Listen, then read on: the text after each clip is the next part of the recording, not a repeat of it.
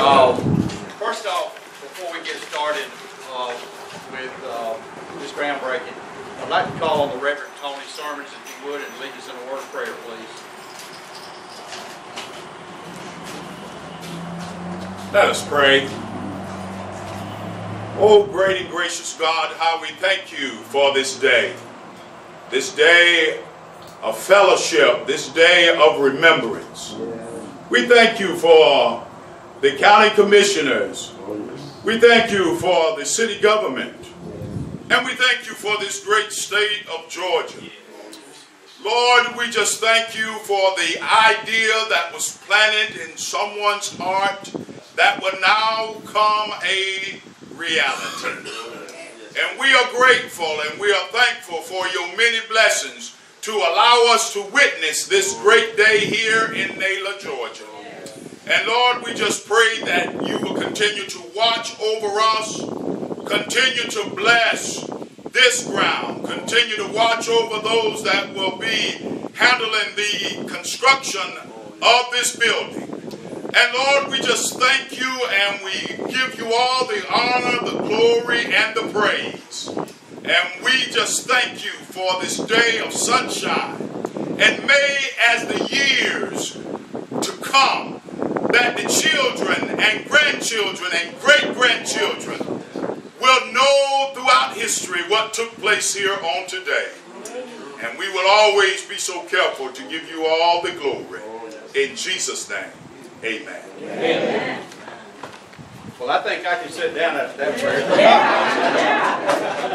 Um, Certainly, there's some folks here that we need to take a moment to thank uh, the hard work that they put into all of this to be able to get us to this point.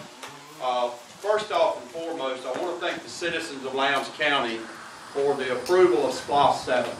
Without the SPLOST 7 revenue that we get, we would not be able to do projects like this and other projects in this community as a whole in Lowndes County. So, number one, we're very, very appreciative of all the citizens of Lowndes County for their efforts in doing that. Um, secondly, certainly the uh, support of the commissioners. Uh, we have Commissioner Evans here with us today. Commissioner Wisenbaker is here with us today.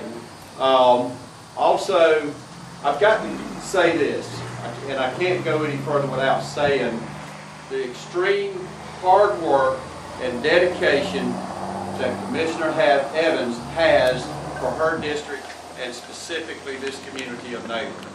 Um, she is in my ear almost 24/7 about what we can do.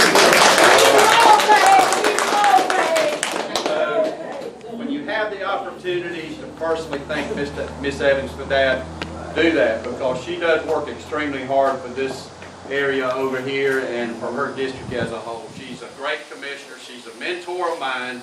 Uh, when I came in, I'll be honest with you, I had no experience in the political field, and some says, some would say I still don't have any experience. But reality is, is that I rely on folks like Miss Evans that has done this for so many years and has a passion for her community, and I take a lot of her um, information and, and encouragement she gives me, and I am very, very appreciative of the relationship that we have. So again, thank you, Miss Evans, for all that. We also have with us today, I think I saw, we got Miss Cody Miller, who is city councilwoman with the city of Valdosta. Miss Miller, thank you. Uh, also, we've got with us from Parks and Rec, we've got Miss Jessica um, I believe, there we go, hiding over here. Mr. George Page, executive director, and we got Mr. Mac, Mr. Mike McDowell, who is the chairman of the board Parks and Rec. And these folks are a big part of not only ha- getting to this, this to this point, but they'll be the ones that's going to take care of it and manage it. They're the ones that you're going to be working with in this community as you use this facility. So again, a great job that they do, and I'm very, very appreciative of that. Also, we have to thank um, Mr. Glenn Gregory and his firm for the great design and the work with us to get this project to where we can build it. Kellerman Construction and their efforts uh, so forth to get us to this point and certainly to get the project built and get it built on time. And I also want to thank an individual that really doesn't get the tremendous amount of thanks that he gets. I try to give it to him when I get an opportunity So here I am, I have my opportunity. And that's Mr. Chad McLeod, one of the staff members of Lowndes County.